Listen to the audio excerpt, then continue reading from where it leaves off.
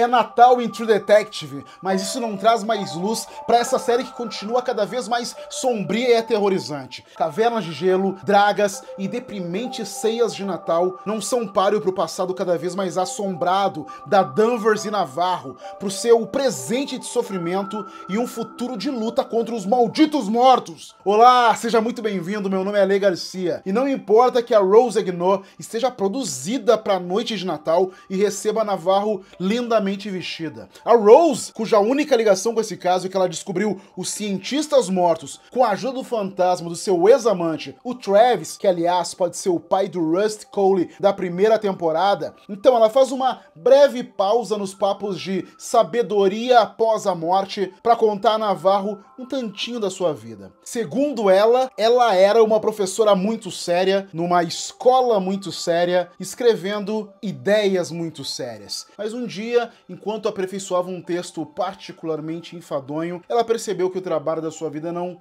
tinha nenhum sentido, que todas as palavras elas somente contribuíam para o barulho ensurdecedor da civilização. Então ela quis um lugar silencioso. Aí ela deixou o emprego e fugiu para Ennis no Alasca. Mas por que isso? Imagino que haja muitos motivos, mas no episódio 4, o nosso oráculo Rose apenas diz: é um pouco mais silencioso aqui, majoritariamente. Exceto por todos os malditos mortos. Os mortos estão se manifestando na quarta temporada de True Detective. Danvers é despertada com o som agudo dos gritos moribundos de N.K. Mais tarde, ela se lembra de como a sua mãe morreu quando ela tinha apenas 7 anos. Mesmo que Danvers quisesse esquecer o seu passado, ela não consegue. Em determinado momento, dirigindo embriagada, um urso polar tira Danvers da estrada. E é o mesmo urso polar caolho que a Navarro já viu no episódio de estreia, o que desperta a memória do urso polar de pelúcia do seu filho, que continua reaparecendo na sua casa. Aliás, se você ainda não viu minha análise do início dessa temporada, dá uma conferida no vídeo que tá linkado aqui em cima. Eu tô vendo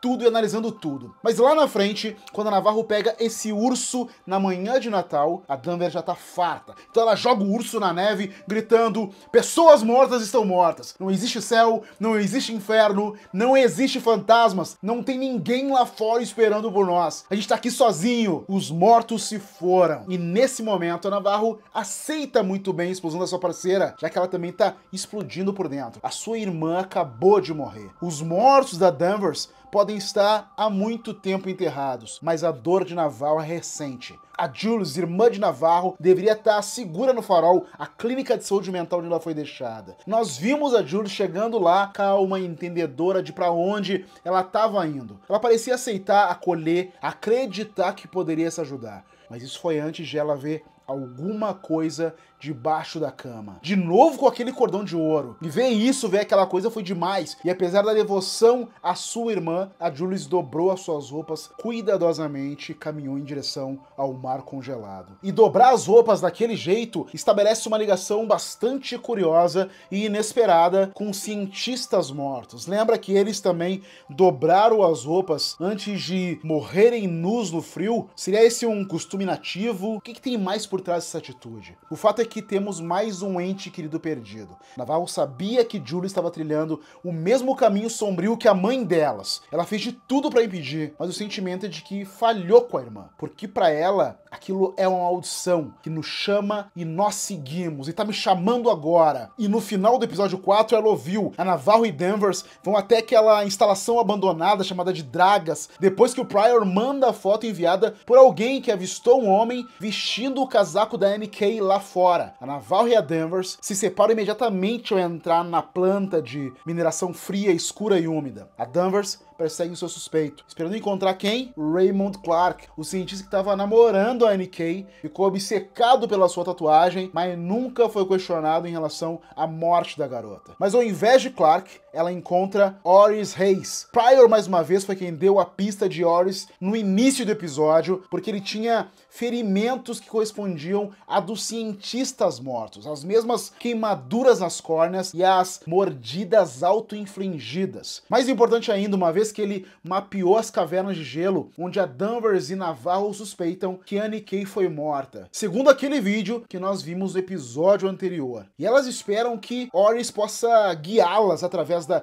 perigosa armadilha mortal subterrânea. E a gente só vai descobrir se essa ideia é plausível na próxima semana, mas os primeiros indicadores não são encorajadores. Oris, assustado e tremendo, diz a Danvers que Clark se foi. Ele voltou para se esconder. Ele tá se escondendo na Terra Noturna. Estamos todos na Terra Noturna agora. Será que Oris poderia conduzi-las em direção à tal Terra Noturna? E o que é essa Terra Noturna afinal? Ainda que estejamos intrigados, é fato que a frase de Oris não é nenhum elemento mais estranho no final do episódio 4. Depois de proteger o Oris, Danvers desce as escadas para encontrar Navarro sentada em silêncio ao lado de uma árvore de Natal brilhante. Porque quando ela se separou da parceira, ela viu um corpo flutuando na água logo embaixo dos seus pés e seguiu as suas pegadas até aquela decoração festiva de Natal completamente fora de lugar. Então nós temos o melhor jump scare do episódio quando outro fantasma branco, pálido, aparece de repente e grita na cara de Navarro. E quando a Danvers a reencontra, tem sangue escorrendo da sua orelha, deixando Danvers e nós nos perguntando se a profecia afinal é verdadeira. Então ela foi amaldiçoada, ela recebeu o chamado e agora não há mais escapatória. E no episódio com poucos alívios, nós temos a frase de Navarro quando Danvers tenta se esconder,